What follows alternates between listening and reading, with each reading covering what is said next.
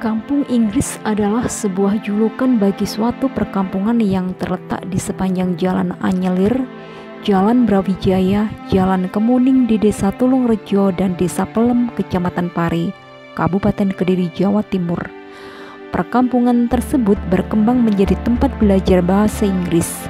Sebagai tempat belajar, pemandangan keseharian di Kampung Inggris Pari tak ubahnya seperti kompleks pelajar didominasi oleh hiruk pikuk aktivitas orang-orang yang sedang belajar khususnya pada saat musim liburan.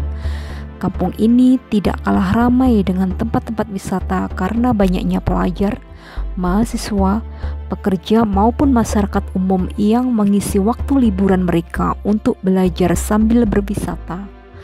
Orang-orang yang belajar di kampung Inggris tidak hanya dari Indonesia, melainkan juga dari mancanegara seperti Malaysia, Thailand, Timor Leste, dan lain-lain.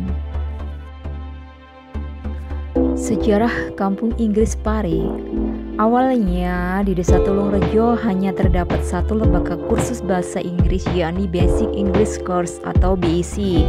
BEC berdiri tanggal 15 Juni 1977. Didirikan oleh Cullen Ocean, lembaga inilah yang menjadi pionir berdirinya Kampung Inggris di Pare Kediri. Bermula pada tahun 1976, Kalen Osen merupakan santri asal Kutai Kertanegara, Kalimantan Timur yang belajar di Pondok Modern Darussalam Gontor Ponorogo, Jawa Timur. Menginjak kelas 5 di pondok, Kalen meninggalkan bangku sekolah karena tidak mampu menanggung biaya pendidikan. Bahkan biaya untuk pulang ke kampungnya juga tidak ada. Dalam kondisi sulit itu, seorang temannya memberitahukan adanya seorang ustadz di Pare Kediri yang menguasai delapan bahasa asing. Ustadz tersebut bernama Kiai Haji Ahmad Yasid. Kalen kemudian berniat berguru dengan harapan minimal dapat menguasai satu atau dua bahasa asing dia tinggal dan belajar tanpa mengeluarkan biaya di pesantren Darul Falah, Desa Pelem, Kecamatan Pari, milik Ustadz Yasid. Suatu ketika, dua mahasiswa datang untuk belajar bahasa Inggris kepada Ustadz Yasid untuk persiapan menghadapi ujian negara dua pekan lagi yang akan dilaksanakan di kampusnya di AIN Sunan Ampel, Surabaya, Jawa Timur. Saat itu, Ustadz Yasid sedang pergi ke Majalengka, Jawa Barat. Kedua mahasiswa tersebut diarahkan untuk belajar kepada Kalen oleh istri Ustadz Yasid. Kalen menyanggupi permintaan itu dan mereka akhirnya terlibat proses belajar mengajar di serambi masjid area pesantren. Pembelajarannya cukup singkat namun intensif selama lima hari saja.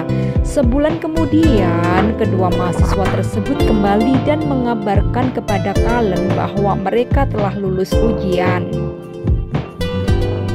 Keberhasilan dua mahasiswa itu tersebar di kalangan mahasiswa IAIN Sunan Ampel, Surabaya dan mereka tertarik mengikuti jejak seniornya dengan belajar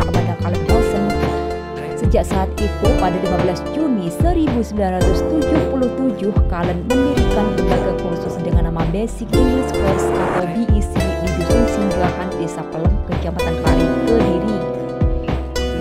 Kelas perdana hanya ada enam siswa. Para siswa tersebut tidak hanya belajar bahasa Inggris, namun juga ilmu agama.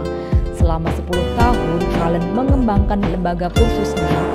Perlahan BEC mulai dikenal luas dan semakin banyak yang ingin belajar di BEC. Karena tingginya minat masyarakat mempelajari bahasa Inggris, kian hari jumlah peserta kursus semakin banyak. Lembaga kursus BEC pun membuka beberapa cabang dengan nama yang berbeda yakni Happy English Course atau HEC2 dan Effective English Conversation atau EECC. Di awal tahun 1990-an, Kalen mendorong para alumni BEC agar membuat lembaga kursus untuk menampung pelajar yang tidak mendapat kuota akibat membludaknya peminat yang ingin belajar di BEC. Perlahan-lahan lembaga kursus di Paris semakin bertambah jumlahnya dan membentuk suatu perkampungan. Saat ini tercatat lebih dari 250 lembaga kursus yang ada di kampung Inggris. Yani